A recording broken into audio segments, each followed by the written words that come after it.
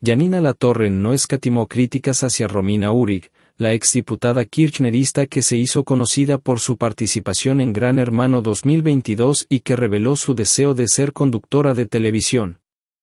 En una entrevista radial, la esposa de Diego Latorre arremetió con contundencia, desmenuzando las aspiraciones de Urig y cuestionando su aptitud para el rol.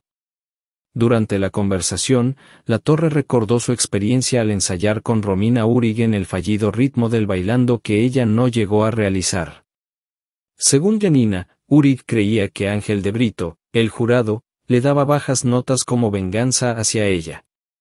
La Torre dejó en claro que las calificaciones no respondían a motivos personales, y ejemplificó con el caso de Lola La Torre, su hija, a quien Ángel de Brito no salvó a pesar de haber sido evaluada con un cero.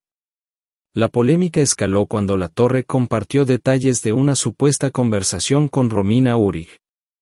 Según Janina, Urig le habría preguntado si creía que estaba lista para ser panelista. Este comentario desató la indignación de La Torre, quien interpretó la expresión de Uri como una subestimación de su trabajo como panelista y comunicadora. En su defensa, Janina Latorre destacó su experiencia y habilidades en el ámbito periodístico.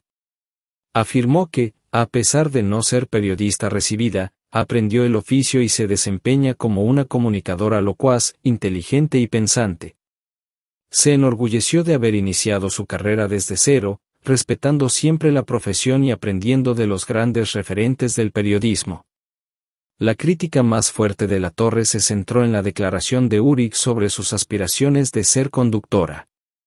Yanina cuestionó la falta de experiencia y habilidades comunicativas de Urig, proveniente de Gran Hermano, y desafió la idea de que conducir un programa de televisión es tan sencillo como afirmaba la exdiputada.